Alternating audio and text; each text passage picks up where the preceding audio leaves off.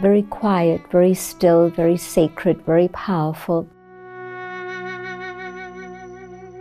You get so much inspiration just sitting by the Tower of Peace. That is the land on which Brahma Baba has walked for so many years. Tower of Peace is the essence which inspires us. And what this place became a pilgrimage place, the highest pilgrimage place of all. It is very important message for the whole world. Watch a special film, The Unrevealed Stories of Tower of Peace, Memorial of Brahma Baba. On Sunday, 10th and 17th January at 8:30 p.m.